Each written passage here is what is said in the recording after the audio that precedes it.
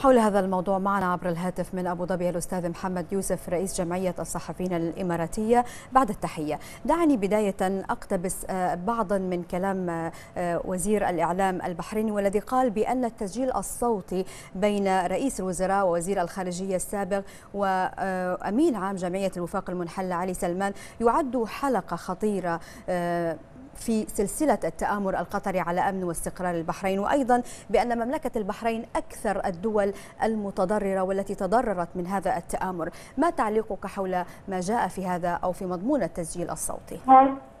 نعم تحياتي لك.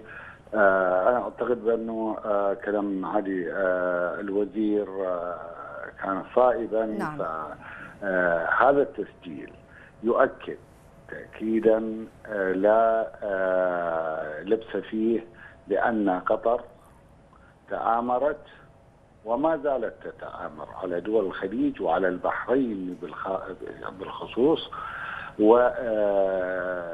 والتسجيل الذي ظهر يوم أمس يبين بأن قطر كانت تدعم أولئك الذين أحدثوا الفوضى في البحرين واعتبرتهم طرفا اصيلا في الحل. وهذا يعني يمكن موقف لم يمنحهم إياه أحد، البحرين لم تمنح قطر دور وساطة نعم. أو لم تطلب منها أن تكون وسيطا إذا كان حمد بن جاسم أو غيره يعتبر هذه المكالمة كانت للوساطة. آه الوسيط لا يكون طرفا ولا يؤيد الطرف الآخر، حمد بن جاسم في كل كلامه كان ومن دقق في في الكلمات كلمة كان كلمة يؤيد.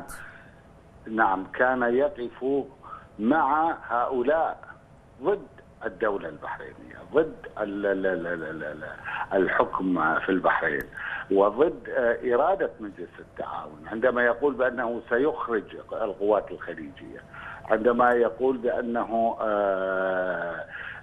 بأن بأنهم يجب عليهم أن يستمروا ولا يعني يطلب منهم التوقف. كل هذه الأمور أعتقد بأنها تعطينا الدليل القاطع اليوم. اليوم نحن لا نتحدث عن افتراضات ولا نتحدث عن يمكن قطر كانت تفعل كذا. لا اليوم نحن في يدنا أدلة وبراهين. قاطعة وأنا أعتقد أن النائب العام أيضا محقا في في في ما طرحه وعلى النيابة العامة أن أن تذهب في طريق رفع الدعوة. حتى المواطنين الذين تضرروا من الأحداث بإمكانهم أن يذهبوا إلى المحاكم المدنية لطلب التعويض من هؤلاء الذين أحدثوا الفوضى وشجعوها. نعم. المحكمة الجنائية تأخذ الحق العام. والمحاكم المدنية تأخذ الحق. نعم سيدي ذكرت بان ذكرت بأن اليوم نعم. نحن نتكلم عن واقع وعن أدلة وبراهين. نتكلم عن مشهد أصبح أكثر وضوحا حول التآمر القطري على البحرين وعلى الدول العربية أيضا بشكل عام. نعم. من وجهة نظرك اليوم ما هو المطلوب من الإعلام الخليجي لمواجهة هذا التآمر القطري تجاه هذه الدول التي تستهدفها قطر ويستهدف يستهدف هذا التآمر القطري؟ نعم إعلامنا كله كل في كل دولنا اليوم أمام مرحلة مهمة جدا وهي كشف الحقائق والتركيز عليها وإيصالها إلى الشعب القطري. الشعب القطري مقيد من خلال الإعلام القطري من الجزيرة والإعلام الآخر.